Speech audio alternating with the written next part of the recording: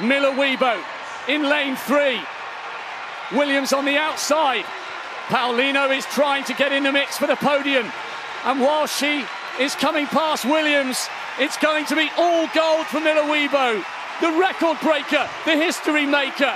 Paulino takes the silver, Williams the bronze for Barbados. Incredible from all three of them. But at last, at last, she completes her set of global golds.